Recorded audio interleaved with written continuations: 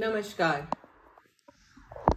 Nearly 29,000 of pedestrians have lost their lives in 2021 due to lack of road safety in India. Nearly 99% of pedestrians are at risk of injuries as per a report by Bosch in India. Now clearly there are lack of safety initiatives for pedestrians in India.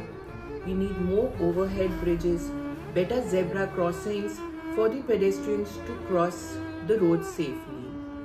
Even the car drivers in India do not stop for pedestrians if they are crossing the roads, which is a unique situation in India.